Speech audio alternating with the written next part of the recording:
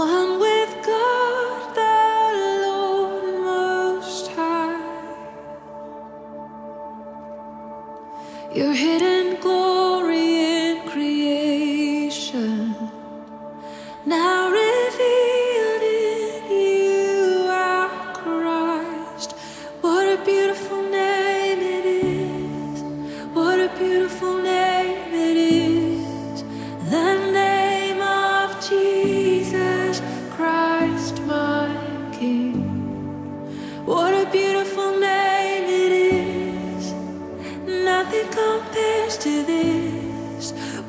beautiful